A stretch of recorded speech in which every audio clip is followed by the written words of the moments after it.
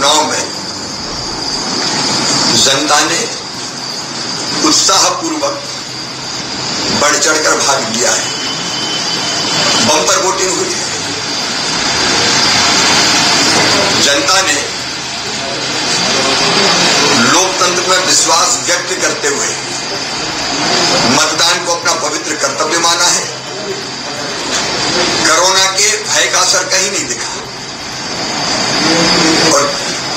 स्थानों पे तो 2018 से ज़्यादा वोटिंग हो गई।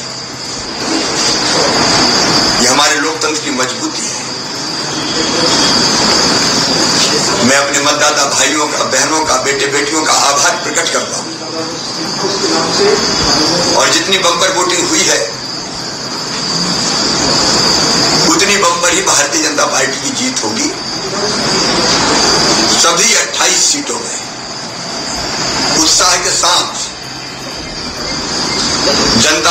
भारतीय जनता पार्टी को वोट दिया है। कांग्रेस की बौखलाहट स्पष्ट रूप से दिखाई दे रही है। अब ये लोकतंत्र का मज़ाक उड़ाना है कि अभी से ईवीएम पर उंगलियाँ उठाई जा रही है। 2018 में ईवीएम ठीक थी जब तुम्हारी सरकार बनी। कर्मचारी और अधिकारियों को धमकाया जा रहा है। मैं कांग्रेस से ये कहना चाहता हूँ अधिकारियों का भी मान होता है, सम्मान होता है। उनकी भी गरिमा होती है। जब चाहोगे किसी अधिकारी को गाली तो दोगे। अफसर को देख लोगे। ये धमकी लोकतंत्र का मज़ाक है और अधिकारी कर्मचारियों का अपमान है।